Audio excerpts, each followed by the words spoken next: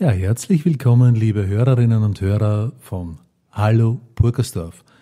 Der Talk über Menschen und Themen in und um Burgersdorf. Und heute stimmt es besonders um Burgersdorf. Heute sitze ich nämlich in Gablitz bei einer ganz lieben, wenn ich so sagen darf, auch Freundin, Caroline Wasicek. Servus Caroline. Hi, hallo Michael.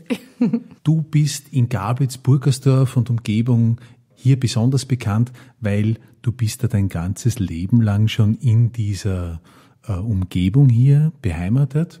Wir kennen alle deinen künstlerischen Werdegang, aber ich möchte jetzt einmal gern für alle, die das vielleicht nicht kennen, ganz kurz auf deinen Lebenslauf eingehen klarerweise Geburt 1974. Wie ging es dann weiter? äh, lustigerweise, äh, gut, geboren bin ich in Wien. Ich habe die ersten Jahre in Fischerment verbracht. Mhm. Das ist bei Schwächert, mhm. bis mein Brüderchen unterwegs war. Das war dann fünf Jahre später. Und das war dann eben auch der Moment, wo meine Eltern nach etwas Grünerem, nach etwas bisschen Größerem gesucht haben und hier in Gablitz gelandet sind. Also ich bin quasi mit sechs Jahren dann hier ähm, im Nebenhaus eigentlich von diesem aufgewachsen und äh, bin weiterhin in Wien, aber in die Schule dann gegangen und zu den Dominikanerinnen mhm. äh, ins Gymnasium. und ähm, ja, äh, beruflich oder sängerisch ähm, war anfangs alles ein geliebtes Hobby muss ich sagen. Also ähm, gesungen habe ich immer schon. Und da war auch damals Gablitz ganz toll. Das war der Ronny Gitzi, ja. war hier damals so ein ja. Kulturschaffender. Mhm. Und der hat beschlossen, die Gablitzer durch Kultur zusammenzubringen. Mhm. Und jedes Jahr gab es dann in der Gablitzer Festhalle, gab es dann sowas wie eine Gablitzer Show. Ja, das war eben eine Institution, die auch mir damals, ich habe tatsächlich begonnen als Vorhangzieherin. Wirklich? ja. Und ich kann mich noch erinnern, da war damals eine Szene, wo ganz wichtig war, dass irgendwie Kübel mit Wasser mhm. auf die mhm. Bühne gebracht wurden. Und ich musste aber das Go geben, den Vorhang zu öffnen. Und ich habe es zu früh gegeben. Oh Gott. Die Kübel mit Wasser waren noch nicht da. Und ich weiß, ich war da, ich kann mich deshalb so erinnern, weil es war mir so unangenehm unangenehm. Du hast sozusagen deine künstlerische Karriere mit einem Patzer begonnen. ja, kann man auch so sagen. Aber ein paar Jahre später äh, war es genau diese Show, das, die hieß damals Märchen, mhm. wo ich mit zwölf bereits äh, solistisch gesungen habe, sehr nervös war. Ich kann mich noch an Aufnahmen erinnern, wo dann immer eine meiner Hände begonnen hat, ganz hektisch zu fuchteln. Ja. Und mein Papa hat damals dirigiert. Viele Gablitzer waren im Orchester. Ja, wir hatten sogar sowas wie ein Orchester. Ja, ich, ich weiß noch, wie ich damals aber alle um mich herum so bewundert habe und beobachtet habe und viele von den Tänzerinnen haben mich dann eigentlich auch inspiriert, dass ich selber sehr viel geturnt habe, getanzt habe und so weiter. Äh, diese Gruppierung oder das hat sich jetzt leider über die Jahre dann, dann aufgelöst, oder? Naja, es war dann äh, so, dass auch einer dieser Gablitzer Shows war ja dann noch das Musical Joseph. Mhm. Da haben sich dann schon meine Eltern ein bisschen mehr eingebracht. Und da habe ich ja damals auch schon quasi Erzählerin, die eine der Erzählerinnen gemacht. Mhm. Damals unter anderem mit Ingrid Thurnherr oh. haben uns die, die, den Part geteilt. Ja. Es war überhaupt spannend damals die Produktion. Da waren ja dann noch Künstler wie Thomas Forstner, mhm. Wo ich auch mich erinnere. Der war damals auch ganz jung. Der hat ja später Song Contest ja genau, gesungen. Genau, ja. Oliver Bayer zum Beispiel, ja, war damals auch dabei. Genau, und das war aber, glaube ich, eines dieser letzten äh, stattfindenden Art Gablitzer Shows, aber ich finde das wahnsinnig interessant, dass hier in diesen, bei, bei, bei diesen Gemeinden im Gablitz, Burgersdorf und rundherum, dass hier so viel künstlerische Schaffenskraft ist in diesem, mm. in, in diesem Raum. Ja? ja, aber ich muss auch sagen, Gablitz ist ja bis heute, ich merke mittlerweile leben ja hier ganz viele meiner Kollegen. Ja, ja. ja weil ich glaube, gerade Burgersdorf Gablitz ist noch in einem Abstand zu Wien, mhm. ähm, der der gut machbar ist, mhm. ja, wo man nicht ewig im Auto sitzt, aber dieses Grüne, dieses, dieses irgendwie viel Luft, viel, viel doch ein, ein Flair, der glaube ich sehr, sehr für Kreativität einfach sehr gut ist. Ja? Und mein neuestes Hobby ist zum Beispiel wirklich am Abend spazieren zu gehen. Mhm. Ja, ich drehe dann eine große Runde bei uns zur Kirche, mache diese große Runde dann weiter und ich merke, wie gut mir das tut. Gablitz kriegt dann so eine, so eine, irgendwie auch so eine, ähm, einerseits Ruhe, aber ich liebe dann noch ein bisschen so Mäuschenspiel und freue mich, ah, da ist noch jemand wach, ah, die schlafen schon, ah, da ist eine Katze unterwegs. Also es hat sowas, ähm, ja, ganz, ganz, ganz eigenen Flair und das mache ich so oft es eigentlich geht. Ja. Du hast ja dann eine Ausbildung in Tanz, Schauspiel und Musical mhm. begonnen. Mit zehn Jahren standest du das erste Mal auf der Bühne mhm. und mit zwölf Jahren hattest du das erste Mal eine Hauptrolle. Genau, also das ist das, was ich ein bisschen angesprochen habe. Also auch mit zehn, was das erste Mal hier in Gablitz eine mhm. Andrew Lloyd Webber mhm. Show, mhm. wo ich zum ersten Mal das Lied Uncoupled aus dem Musical mhm. Starlight Express gesungen habe. Und mit zwölf war es eben diese besagte Gablitzer Show, wo ich bereits eben, also Hauptrolle, wo ich eine Rolle eben gespielt habe, gesungen habe, bisschen gespielt habe und aber zum ersten Mal dieses solistische, dieses... Mhm. Wie, wie bist denn du eigentlich zu dem künstlerischen Weg gekommen? Gut, das, das geht zurück zurück zu meinen Eltern natürlich. Meine Eltern äh, sind ja äh, 68 mhm. äh, von Prag nach Österreich gekommen mhm. und hatten aber davor in Prag eine eigene kleine Band. Äh, die nannte sich, äh, die nannten sich Sputnice. Mhm. Und haben damals schon im Kommunismus wirklich so zeitkritische äh, Sachen Was? gemacht. Aber es war im Grunde eine Rock'n'Roll-Band. Mhm. Mein Vater war der Leadsänger, war mhm. Gitarrist und Pianist. Meine Mama war damals im Chor mit ihrer Schwester. Mhm. Ja. Gut, es war natürlich auch der Kommunismus, äh, der dann Grund war, warum meine Eltern noch gehen mussten. Mhm. Äh, sie waren erstens wirklich sehr zeitkritisch unterwegs. Mhm. Also es gibt ganz lustige Geschichten, wo sie halt ihre ihre äh, Show hatten mit den natürlich Songs, die dazugehört haben, die das Publikum zum Teil gekannt hat. Und wenn es aber soweit war und irgendwelche Kommunisten der Meinung waren, das müssen wir überprüfen, haben die halt quasi die Texte gecheckt. Und wenn denen irgendwas nicht gepasst hat, wurde es zensuriert. Mhm. Nur, äh, gut, meine Eltern haben bis jetzt großen Humor.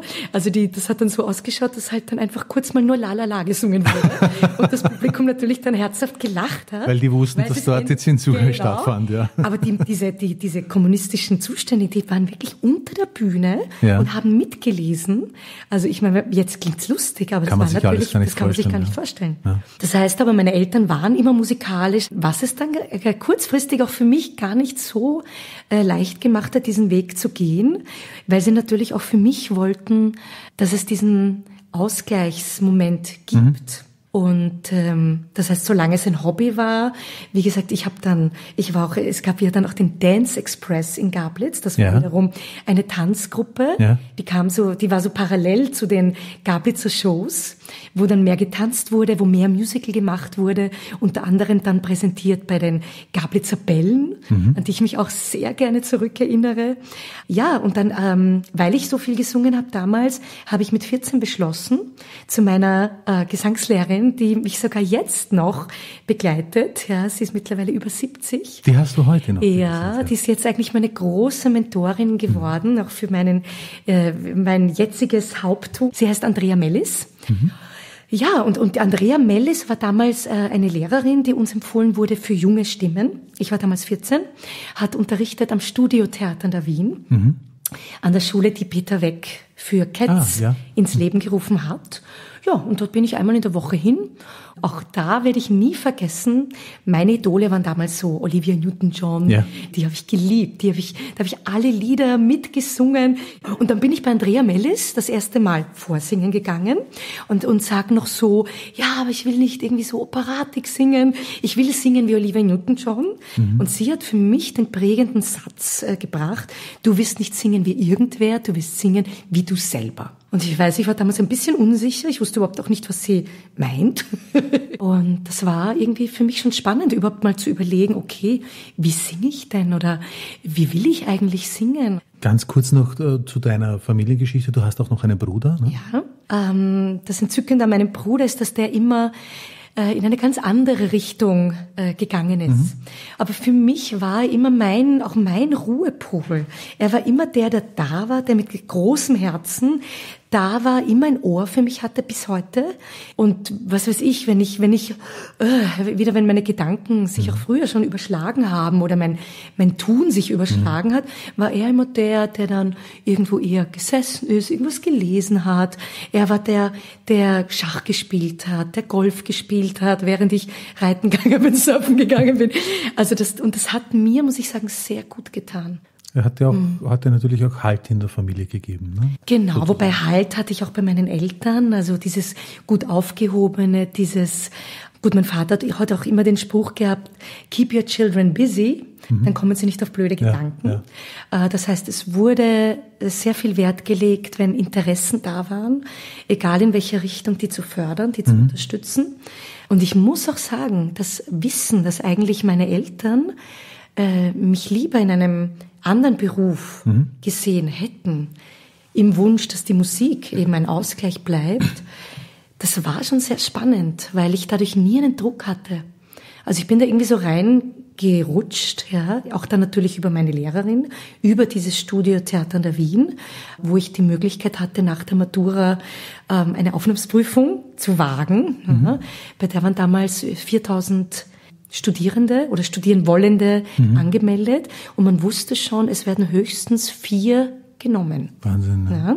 Das heißt, ich habe meine Matura gemacht damals und habe mir gedacht, okay, und habe mich auf diese Aufnahmsprüfung vorbereitet, aber sehr spielerisch, also wirklich mit einem Gefühl von, ich probier's, entweder es wird was, mhm. dann soll es wohl so sein oder nicht. Ja. Das heißt auch, das wäre auch eine Frage von mir, in diese Szene kann man sehr wohl seinen Weg dort beginnen, auch ohne dass man jetzt jemanden kennt. Ich meine, ich muss schon sagen, es war natürlich damals ein bisschen eine andere Zeit. Mhm. Das Musical war ganz neu. Mhm. Musicalschulen gab es damals genau zwei. Mhm. Das Studiotheater in der Wien und das Wiener Konz, was mhm. jetzt, glaube ich, äh, Muck heißt. Also es war schon irgendwie sowas in der Luft, dass man gemerkt hat, da entsteht gerade etwas. Mhm. Und weil halt gerade Becketts, das ist doch von eher so, ich würde sagen, von Londoner Richtung rüber geschwappt ist, eher vielleicht von amerikanischer Richtung rüber geschwappt ist, äh, waren auch deutschsprachige Darsteller noch selten. Mhm. Ja. Die Ausbildung war großartig, also ich habe da noch wirklich diese Aufnahmsprüfung geschafft. Mhm. Damals war klar für zwei Jahre. Ähm, der Klausnitz hat dann eigentlich beschlossen, der war, der hat äh, der, die Schule übernommen nach Peter ja. Beck. Die Schule wurde dann geschlossen nach zwei mhm. Jahren. Aber ich hatte noch die Möglichkeit eben äh, diese Zeit ja. äh, zu machen und auch mit Abschluss mhm. quasi fertig zu werden. Und äh, was ich toll finde, und das würde ich auch jetzt jedem raten, man kriegt dort eine irrsinnige, erstens Disziplin natürlich, aber man wird auch so fit. Mhm. Ja, weil man macht nichts anderes als täglich zu singen, täglich zu tanzen. Also man kriegt eine wunderbare Kondition. Ja, und es war aber eine Zeit, wo eben noch gar nicht so viele Leute, ähm, ähm, die eine Musicalausbildung hinter sich hatten, unterwegs waren. Ja, mhm. Das ist halt jetzt ganz anders. Es gibt irrsinnig viele Musicalschulen. Ja. Es gibt sehr viele Darsteller, äh, sicher dabei bessere, schlechtere, also von allem einfach sehr viel. Selbst nach der Ausbildung hatte ich immer noch im Kopf, dass ich eigentlich gerne, ich wollte immer gerne Medizin studieren. Immer schon. Ja, meine Mama war ja auch im Spital ja. tätig ähm, und das Spitalsleben hat mir damals äh, sehr gefallen.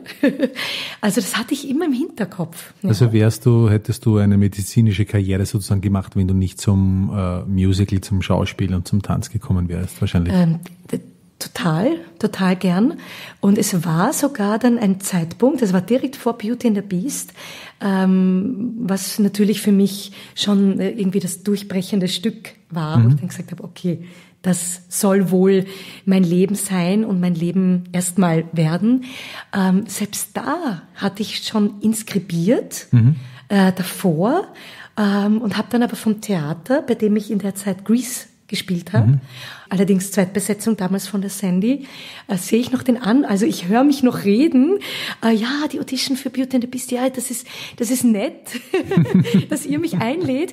Aber, Aber ich habe hab gerade inskribiert. also ich weiß gerade nicht. Aber dementsprechend locker bin ich dort natürlich auch hingegangen. Ähm, und, wie, und das habe ich aber dann bekommen.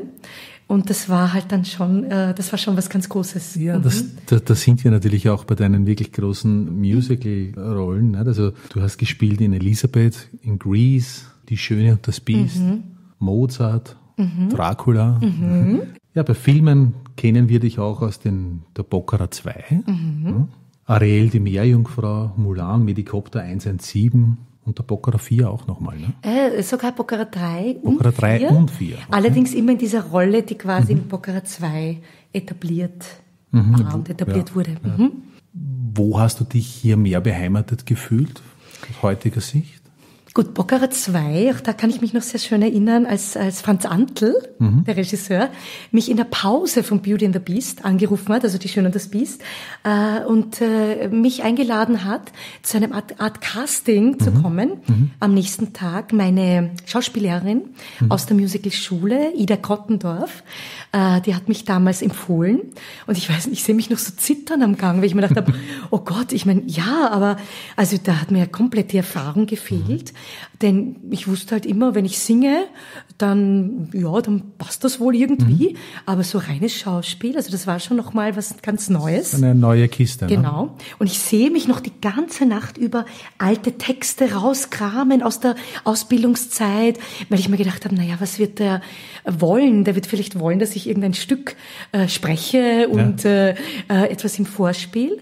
Naja, gar nichts, ja. Mein, äh, ganz süß, mein Papa war auch dabei wieder ja. an meiner Seite. Wir sind hingefahren in den 19. Äh, Bezirk, wo Franz Antl gewohnt hat. Ja, ich, ich, ich sehe mich noch in das Wohnzimmer kommen. Äh, am Weg dorthin haben wir Ida Gottendorf im Kaffeehaus äh, nur sitzen gesehen mit einer mhm. Freundin. Die hat mir dann noch so ein bisschen so zugeprostet, so toi, toi, toi. ich bin dahin natürlich nervös bis zum ja. Umfallen. Äh, Franz Antl kam nur kurz ins Zimmer. Äh, Sibylle Antl, so eine Frau, war dabei. Dann mhm. sind sie weggegangen, kamen bereits mit dem Buch zurück. Ja, da hast Faust, du die Rolle. Ne? Da hast du die Rolle. Ja. Also ich weiß, ich wusste damals, das ist ein, ich spiele eine russische Dolmetscherin. Ja. Das heißt, mir war klar, mein Deutsch muss äh, mit russischem Akzent sein. Ja. Ich habe mir damals bei Beauty and the Beast, äh, einer von den kleinen Kids, äh, der Tassilo gespielt hat, der hatte ehemals ukrainische, mhm. also auch emigrierte Eltern, äh, wo mir der Vater den ganzen Text aufgesprochen hat und ich es dann wirklich nach ihm äh, gelernt habe mhm. äh, und wirklich versucht habe, damals das, das Russische, was viel das weiter richtig, hinten sitzt, ja, und Spasiba und wirklich dieses hinten äh, ähm, irgendwie ähm, ähm, zu lernen. Dadurch, dass ich auch Tschechisch sprechen mhm. kann, habe ich mir immer leicht getan mit dem rollenden R und diese mhm. Sachen sind mir leicht gefallen. Eine große Herausforderung war zu weinen auf Knopfdruck. Mhm. Und ich sehe noch äh, dieses Bild von mir. Ich komme dort zu meinem zu meiner Stelle, wo ich eben als Elena Koscheleva eben äh, Dolmetscherin war. Der eine Assistent dort drückt mir einen Brief in die Hand. Ich nehme den Brief, gehe zu meinem meinem Spind, wo ich meine Tasche drin habe und so weiter. Ich öffne den Brief und lese, dass mein Vater gestorben ist, mhm. also umgekommen ist. Ja. Ähm, und das war alles eine Kamerafahrt. Ich sehe mich noch diesen Brief öffnen und nach meinem Wunsch äh, Tränen mhm. vergießen und dann war noch der Gang in so eine große Treppe hinunter mhm. und dann sieht man mich weglaufen. Alles in einer Fahrt. Und es kommt Tag X, ich natürlich nervös, wieder mal bis zum Umfallen und schaffe es natürlich nicht, dass die Tränen genau dort, wo ich möchte, mhm. einsetzen. Mhm. Im Endeffekt muss ich dann sagen, äh, die, die Szene, ähm, wie gesagt, ich öffne den Brief, ich fange zu atmen an in der Hoffnung, dass die Tränen, wie ich es geübt habe, auch mhm. einschießen. Gut, es gelingt mir nicht, der Atem bleibt, ich renne die Treppe runter und ich weiß noch, wie unglücklich ich an dem Abend war. Ich mir gedacht habe, oh Mann, ich habe sicher wieder Mist gebaut all diese Erlebnisse, die du hattest, gibt es irgendetwas, was du jungen Menschen auf den Weg mitgeben würdest? Also ich würde jetzt eher weitergeben, dass man offen sein soll, dass man sich nicht auf eine Sache versteifen soll, mhm. sondern offen bleiben soll und sich erstens einmal auf mehreren Ebenen vielleicht kennenlernen soll ähm, und wirklich spürt, wo wo bin ich zu Hause? Und ich finde, gerade jetzt ist es so wichtig, seinem Herzen treu zu bleiben und das zu machen, was man wirklich, wirklich gerne macht, wo man mhm. merkt, es macht, es macht dich glücklich und es, es, es, ja, es zaubert ein Lächeln. Da kommen wir eh auch zu einem Punkt, du bist ja Mutter zweier Kinder, du mhm. hast eine Tochter und einen Sohn. Hast hier auch eine wichtige Bestimmung für dein Leben gefunden. Mhm. Was sind hier die wichtigsten Punkte für dich, wo du sagst, wie leite ich meine Kinder, was gebe ich meinen Kindern mit ins Leben? Also auch da würde ich gerne noch mal ein bisschen einen Schritt zurückgehen, denn tatsächlich war das der Moment, wo ich gemerkt habe, okay, wahrscheinlich soll mein, mein, mein Berufsweg mhm. erst einmal in diese Musical-Richtung gehen. Ähm, ich wusste immer schon, ich will Kinder mhm. haben, am liebsten zwei. Mhm. Und es war damals tatsächlich die Sorge, ähm, ja, was mache ich, wenn ein Musical dann irgendwo im Ausland ist? Ich wollte auf keinen Fall, dass meine Kinder das dann irgendwie ausbaden müssen. Mhm. Wie gesagt, meine Kinder kamen dann mit 31.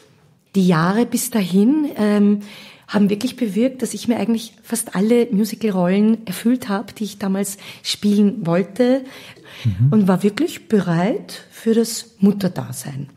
Mhm. Ich hatte damals noch das Glück, dass ich auch äh, an der Josefstadt äh, mehrere Engagements äh, bekommen habe, was natürlich toll war. Das war dann in Wien. Es war nicht mehr jeden Abend. Ja, mhm. also auch da muss ich gestehen, kam der Moment, wo ich irgendwann ans Universum äh, den Wunsch geäußert habe, jetzt wäre es langsam gut, irgendwas zu finden, wo auch Platz ist für ja. Kinder. Für die Familie, ähm, ja das Universum hat mir dann eben dieses Engagement und mehrere Stadttheaterproduktionen mhm. geschickt, die auch entzückend waren. Ja, also ich war noch ein bisschen in dieser Welt, hatte aber viel Raum dann für meine Tochter, für die Mavi, habe die Zeit irrsinnig genossen. Also auch die erste Zeit, wo ich sie noch bei mir hatte. Und mit drei gehen ja Kinder in den Kindergarten. Mhm. Ab da wollte ich, dass Ruhe einkehrt, mhm. dass Beständigkeit einkehrt. Ja, und das hat mir eigentlich den Weg geebnet für das, was mich jetzt einfach so glücklich macht, das Unterrichten. Genau, auf, ja. auf, auf das wollte ich ja zu sprechen kommen. Mhm. Du hast ja dann deine äh, Bühnenkarriere ruhiger gestellt. Mhm. Die mhm. Familie rückt und die Kinder rücken immer mehr in den Fokus in deinem mhm. Leben. Du magst Gesangsunterricht, du mhm. coachst unheimlich viele Profis, genauso wie Amateure. Aber da würde es mich interessieren, wie bist du zu diesem Weg dann gekommen? Eben, es war sicher der Wunsch, in erster Linie etwas mal zu finden, was mich ein bisschen rausnimmt aus diesem Stress, weiter äh, vorzusingen oder weiter vielleicht irgendwelche Produktionen im Ausland annehmen zu müssen, weil das mein mhm. einziger Weg ist oder meine einzige Möglichkeit, auch dann natürlich Geld zu verdienen. Ich bin damals, weil ich schon gemerkt habe, dieses Unterrichten wollende oder vielleicht war es sogar ein bisschen dieses medizinische in mir, mhm. dieses Interesse, wie funktionieren die Stimmbänder eigentlich, was kann man da tun, was kann man da besser machen, was, also diese, diese Neugierde hat mich, muss ich sagen, ganz am Anfang da begleitet. Ich habe am Anfang auch mit einer Logopädin zusammengearbeitet, die mir erste Schüler äh, mhm. geschickt, geschickt hat, auch mit großem Vertrauen, weil sie selber erkannt hat, dass anscheinend irgendwo in mir immer das Interesse schon war. Mhm. Naja, und das heißt, ich habe mich am Anfang, habe ich da ein bisschen reingeschnuppert und parallel noch Produktionen gespielt. Und dann mit dem Kindergarten wurde es tatsächlich immer mehr. Ja. Mhm. Ähm, dann eben zum Teil Kollegen, ähm, Damals waren es eher noch Erwachsene. Es hat sich dann ein bisschen verschoben Richtung Kinder. Mhm. Ja, es wurden dann noch eine Weile immer mehr Kinder. Das ist ja auch ein Punkt. Du hast, du hast ja sehr viele Projekte eben mit Kindern gemacht mhm. und machst sie auch heute mhm. noch. Das, das war halt dann auch, gell, wo ich mir dann gedacht habe, jetzt hatte ich dann plötzlich recht viele Kinder und die Arbeit mit Kindern ist ja entzückend, weil äh, Kindern kannst du nichts vormachen. Mhm. Ja? ja, und dann äh, dachte ich, okay, jetzt brauche ich aber ein Ziel für diese Kinder und dann habe ich eben die Märchen ausgegraben. Damals das erste Stück war Schneewittchen, wo ich gemerkt habe, ich hätte eigentlich Lust, das für die Kleinen zu machen, ja. unter dem Motto Kinder für Kinder. Ich habe dann noch ein paar Lieder reingeschrieben und habe dann wie ein kleines Musical in einer Dauer von 50 Minuten mhm. ähm, mit diesen kleinen Mäusen äh, das auf die Bühne gebracht, habe äh, Kollegen äh, mhm. gebeten, in die, in die Rollen zu schlüpfen. Also Schneewittchen, Prinz, Stiefmutter, das waren zum Teil äh, liebe Kolleginnen ja. von mir. Und so kam es zum ersten Stück, Schneewittchen, dann zum nächsten der Wolf und die sieben Geißlein. Ähm, und das, äh, was jetzt in den, in den Startlöchern wartet, ist Dornröschen. Das heißt, das ist jetzt dein nächstes Projekt mit den Kindern. Genau. Ich habe da äh, sehr viele Lieder äh, diesmal komponiert, sehr poppig das gehalten, weil ich auch merke, ähm, auch die kleinen Kinder lieben ja poppige Songs. Viele Chöre äh, geschrieben. Ja, freue mich schon sehr. Also ich hoffe, dass nächstes Frühjahr, Dornröschen muss im Frühjahr, finde ich, gespielt werden. Sehr gut. Ich hoffe, da, dass wir da Premiere haben Da können. wartet also eine tolle Produktion auf uns. Ja, auf jeden Fall. Apropos tolle Produktion. Mich würde natürlich auch interessieren, was bedeutet der Lebensraum Gablitz für dich? Du lebst seit deinem fünften Lebensjahr hier, hast hier auch viele schöne Momente, auch künstlerische schöne Momente erlebt. Du bist ja hier auch im Theater im 82er Haus mhm, aufgetreten, mhm. was ein unheimlich toller äh, kultureller Hotspot in Gablitz auch mhm. ist. Äh, was, was bedeutet Gablitz für dich so vom Gefühl her? Ich merke jetzt wirklich ganz viele Parallelen echt zu meiner Kindheit. Mhm dass eigentlich vielleicht, weil ich auch eben hier aufgewachsen bin und jetzt hier lebe mit meinen Kindern, mhm. sind natürlich gewisse Parallelen da. Und ich merke auch, dass eigentlich die, die Kinder zu fördern mir anscheinend genauso wichtig ist, wie es damals meinen Eltern war oder auch damals es Gablitz war.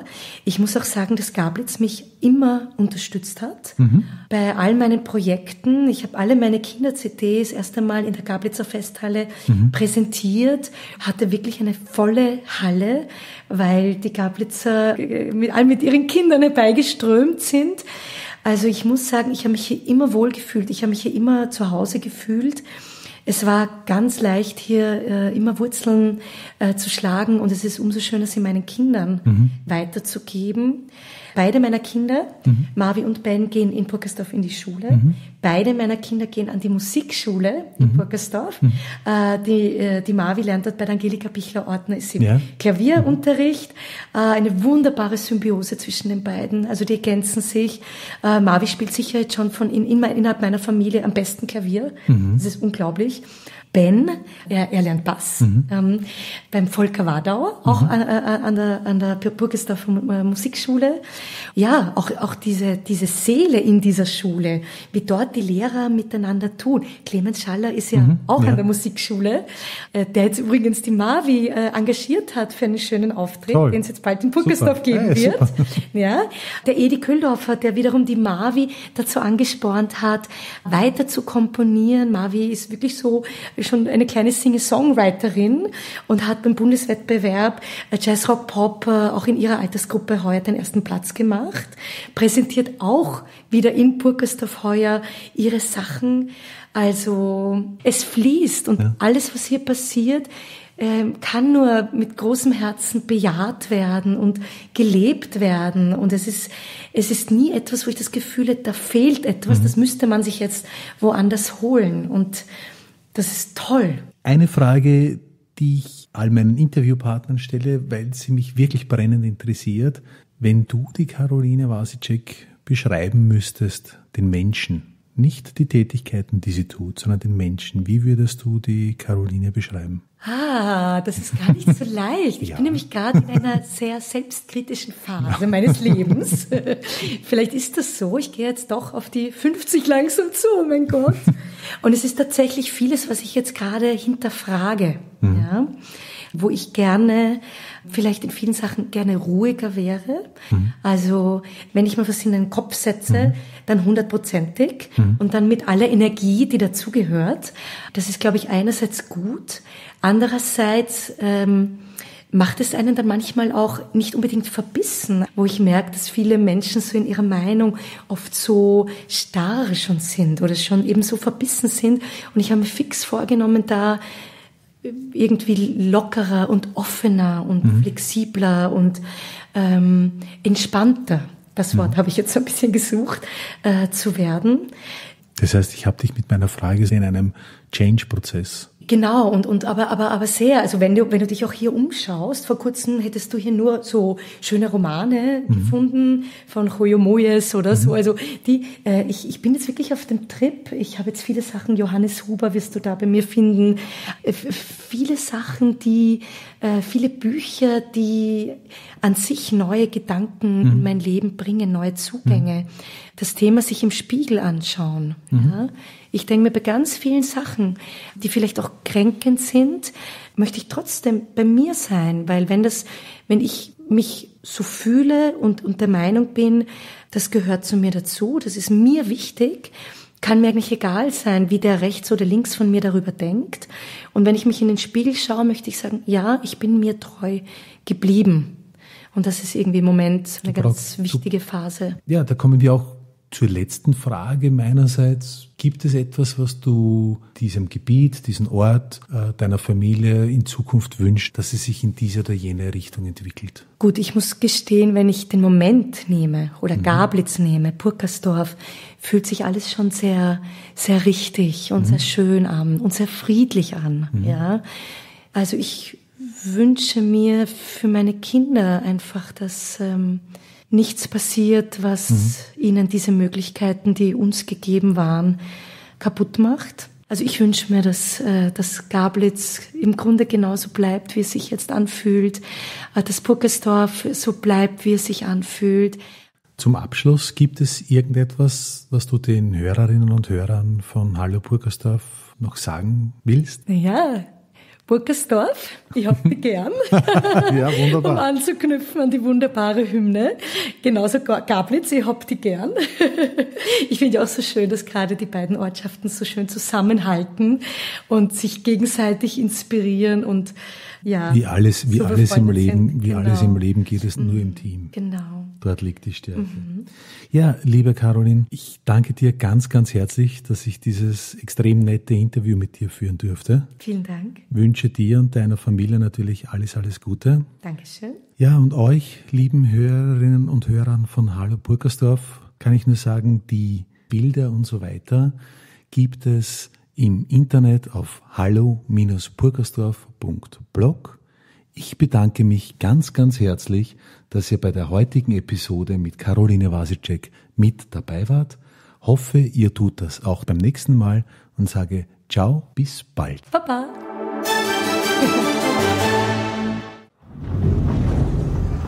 Dies war eine weitere Episode des Podcasts Hallo Purkersdorf. Den Blog zum Podcast erreicht ihr unter hallo-purkersdorf.blog. Produktion und inhaltliche Verantwortung Michael Köck.